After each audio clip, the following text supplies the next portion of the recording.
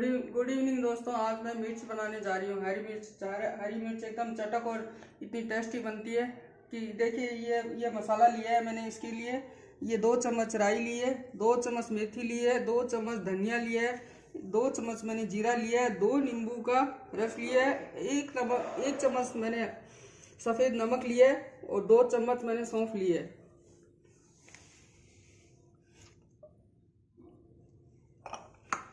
ये आधा किलो मिर्च लिए मैंने हरी, कटी।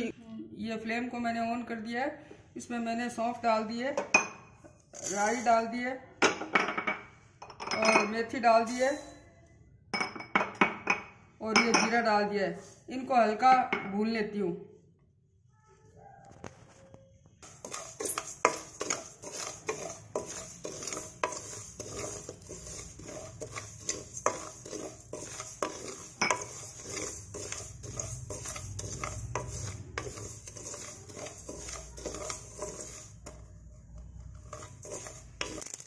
ये देखो, मेरी मेथी और सौंफ ये चटकने लग गई है, ये भुन गई है कलर भी इसका हल्का ब्राउन हो चुका है।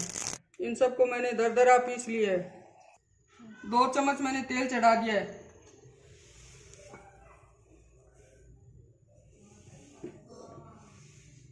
ये चुटकी भर मैंने हिंग डाल दिया इसमें।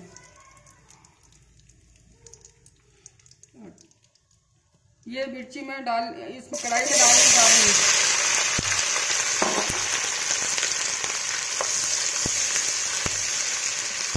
इसमें हल्दी ऐड करके इसको फ्राई कर लेती हूँ।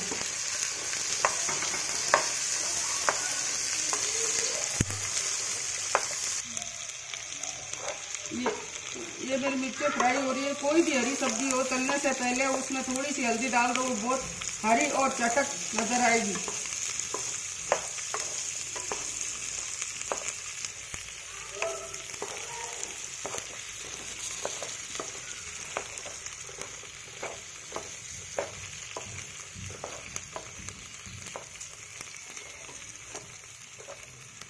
ये मेथी और सौंफ और राई का मसाला ऐड कर देती हूँ।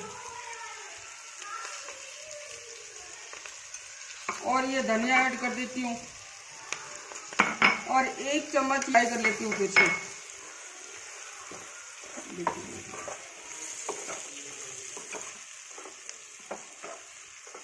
ये हरी मिर्चें एक डिब्बे में डाल के रख दो, एक महीने तक खराब नहीं होगी।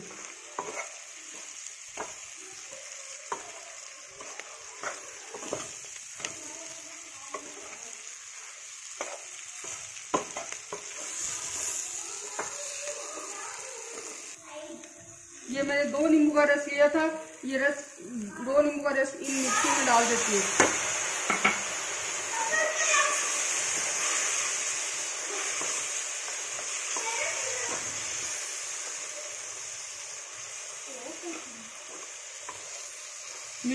ये ढक्कन लगा के मैं इसको दो मिनट के लिए पकने के लिए रख देती हूँ। मिर्ची बनकर तैयार हो गई है। देखिए कितनी हरी और चटक बनी है। आप इस तरह से बनाएँगे तो मिर्ची बहुत ही स्वादिष्ट बनेगी।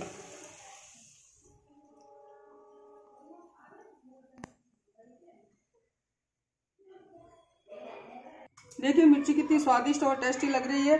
आप भी बनाइए और मेरा ये वीडियो अगर आपको पसंद आए, आप मिर्ची बना के ज़रूर ट्राई करिए और मेरा ये वीडियो आपको पसंद आए तो लाइक कीजिए, सब्सक्राइब कीजिए और कृपया कमेंट कमेंट करके बताएँ कि ये मिर्ची कैसी बनी है।